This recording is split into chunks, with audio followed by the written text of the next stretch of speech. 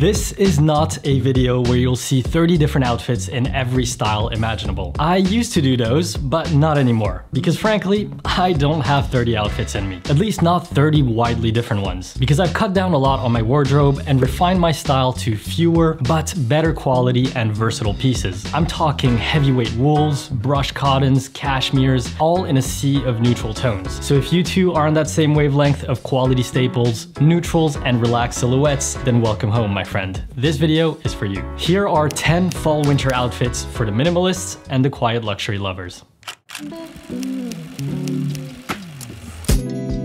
You know I love a monochrome outfit, and gray has got to be one of the best colors for it. It feels classy, muted, cozy, everything you want in fall. And this outfit is all about texture, with the wool trousers, the scarf, and the cashmere wool blended knit. The white sneakers help anchor down this hefty cluster of gray, and if it gets colder, I would add a structured coat on top. By the way, I know many of you often ask which items I wear, so all of the outfits shown will be linked in the description.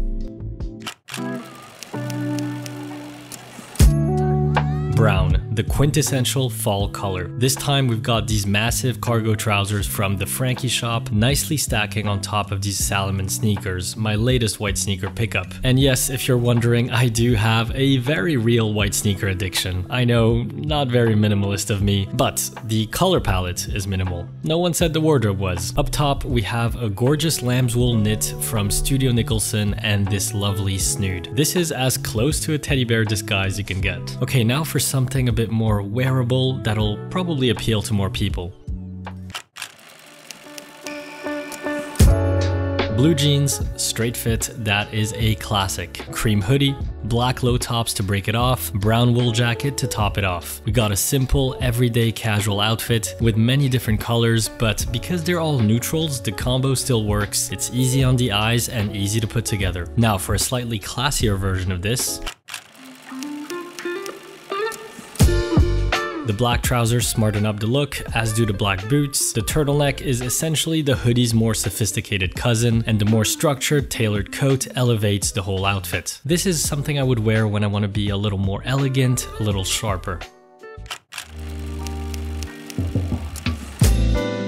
The problem with wearing a suit during the fall winter season is it's not always the most functional with the weather. So what I do is layer underneath with Uniqlo's ultra warm heat tech. And the top actually has quite a nice fit, so you can even wear it on its own if you wanted to. It's a perfect inner layer that keeps me super warm. The Homme Plissé Issey Miyake suit in black has got to be my all-time favorite. The texture just looks incredible and it gives that nice edge to your smart outfits. For outerwear, I would definitely go with a long coat. For example, this statement houndstooth piece would work really well.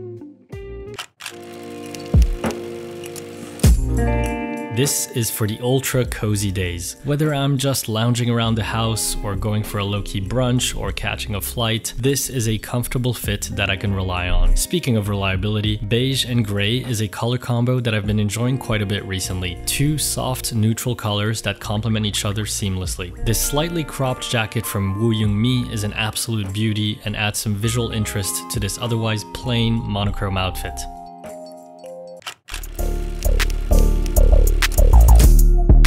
Sometimes you're just unsure whether you want to look classy or street, and I'm here to tell you, you don't have to choose. I love the contrast between an elegant piece like the Issey Miyake Plissé trousers and a louder streetwear item like this Represent Varsity jacket. Done well, I think combining different styles and levels of formality can look beautiful. This is the kind of outfit I would wear on a rainy Saturday when I've gotta go out, maybe I have errands to run, and I don't want to ruin a perfectly good pair of white sneakers or leather boots. We got the classic Bottega puddle boots, olive green jeans from the latest Uniqlo U collection, and my trusty Essentials fleece jacket worn on top of some cozy Studio Nicholson knitwear. Oh, and of course a baseball cap for good measure. And before anyone comes for me, yes, I realize the fleece is not waterproof, and yes, I would still carry an umbrella.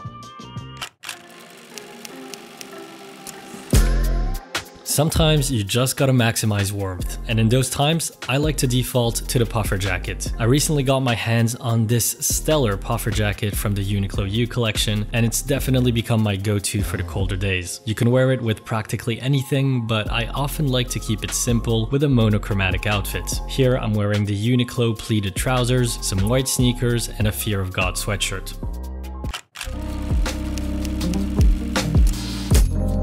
Nothing brings me more confidence than a big coat. Don't ask me why, I'm not exactly sure, I just know that big coats make me look and feel great, so I wear them. Even with something as simple as straight fit blue jeans, some plain sneakers, and a knit, a nice coat just makes everything look better. Alright guys, let me know which of these 10 outfits was your favorite. And actually, you can also tell me which one was your least favorite. Let me know in the comments, and as always, all of the outfits will be linked in the description. I wish you a beautiful day, my friends, and I will see you in the next one.